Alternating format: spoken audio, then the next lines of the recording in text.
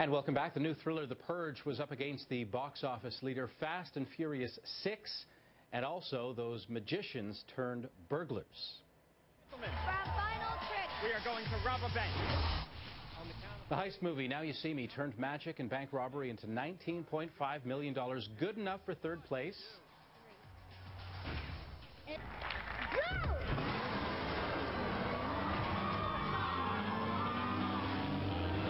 Just ahead was the sixth installment in the hard driving Fast and the Furious franchise. It's still going strong, pulling in 19.8 million. I want all these barricades down. Chains on every floor and every window. But with 36.4 million in earnings, this weekend's top movie was The Purge, about a well-off family trapped at home for the one night a year that all crime is legal. No, I, I wasn't ready. Jason Gorber is a film critic with uh, twitchfilm.com and joins us now. So the uh, Purge, uh, what'd you think? Yeah, I didn't really like it. so, so here's the deal. Um, I, have been looking for years for some crazy, like, compound German word for films that by any reason should be terrible and then aren't. I love those films. Those films that you go in and think it's going to be this movie, and then it's amazing. This is the opposite of that. This is exactly the film that I thought it would be, and then it just does it. It's a very good, high concept. Let's talk about um, contemporary American society. Let's talk about the nature of violence. Let's talk about moral decision making speaking within the context of a thriller. And look, the thing was made for $3 million. It was made by the guys that did Paranormal Activity and were producers on The Sinister. Um, they've taken the notion of what it is to be a modern horror film and made it just safe and just interesting enough to get a lot of people in the opening weekend. I don't think it's going to do particularly well moving forward, but given the fact that this is a weekend that's really a lull before the ginormous uh, onslaught of Man of Steel next week, this right. is the kind of risk that some of the smaller studios can take. Again, I didn't really like it, but some audiences don't mind stupid people doing stupid things. I hate it. I hate when you see family members do really, really dumb things. You're like, why are you going into the dark? Just stay together. Stop spreading out. So yeah, there's my problem with the film. Uh, considering the weekend uh, that you just described is coming just before a big giant right. movie, would a studio, you know, release this at this time on purpose? For sure. So what happens, especially with these films, this is definitely counter programming, right? So you're trying to you're trying to sneak in uh, with all the other films they're playing at the same time. That's why a film like Fast Six is still doing super well. Your favorite? I love Fast Six, although it's not as good as Fast Five, but still, I do love it. No, it's it's it's the type of film that will sort of play within the niche. So if a person's already seen Fast Six, they're looking for a little bit more thrill. That's the kind of thing they're going for. You do that with the the sort of, I hate the term, but the pejorative, the chick flick.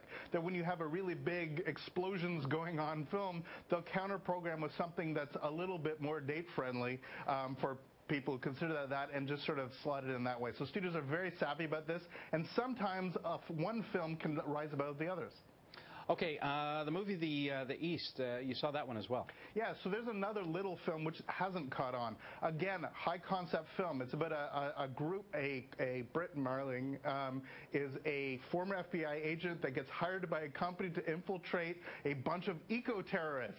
So you have a, um, uh, you have Ellen Page in it, you have um, uh, uh, Scar, the younger Skarsgård, mm -hmm. who most people know from True Blood, and and it's a film that should work. It's got some interesting issues. It's got to do with corporate espionage, but it is so flat and so two-dimensional that you know exactly what's taking place. And for a film that has to do with high security, mm -hmm. the least you can do is put a password on your computer. I swear to God, when it's like little things like that, like, you know, if it's dark, turn on the lights. It's that kind of level of, of suspense or thriller movie.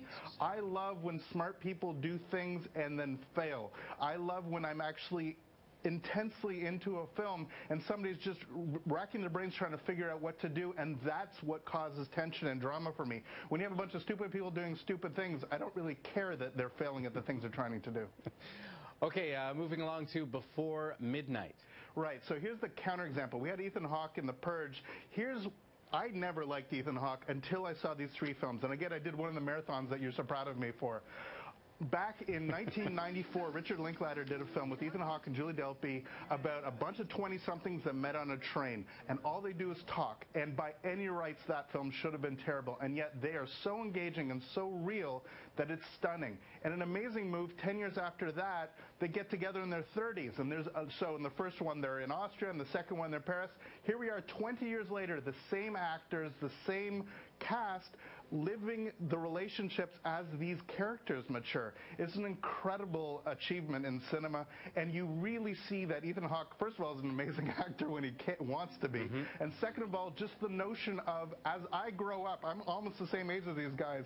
So when I'm watching the 20-somethings on the train who's picking up the cute blonde uh, girl who, from Paris, I'm like, yeah, that was me in my 20s as I traveled through Europe, and now in the 30s, I'm like, okay, now I'm 40, he's 41 in the film. I'm like, uh, uh when you when you have relationship uh, challenges, when you have anything that goes on with adulthood, I'm like, oh my God, I'm seeing myself through the lens of this film. It is an incredible work and definitely one that it's now opening wide across the country. It's definitely one worth seeking out. Jason, thanks very much. Thanks, Scott. And a reminder, you can be followed at a uh, Twitter at uh, on Twitter at FilmFest underscore CA. Jason, have a great uh, week. See you next week, Scott.